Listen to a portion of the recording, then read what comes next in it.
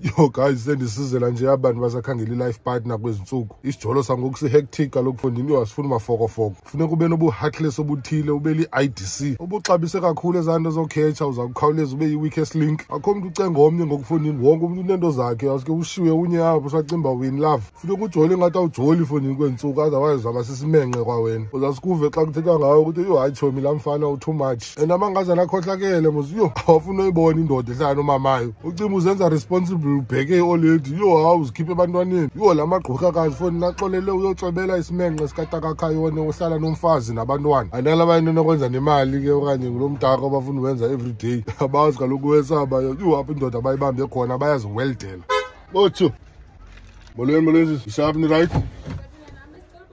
Kuwhatsapp siswamanihlali ndinazo bambe inamba yami ujonge phaa kuwhatsapp. Ikhona phaa kufacebook wam. Ayiqonda kaloku iyo i-deadline katrick is just around the corner fonini ne-biological clock ayimanga kweli cala. Elaa xesha umntu sengumother of four ready plus nenye ithu eyehla ngomlenze esingayibaliyo. But ke wethu guys semhlabeni apha yazi? Umntu makabe yile nto afuna uba yiyo.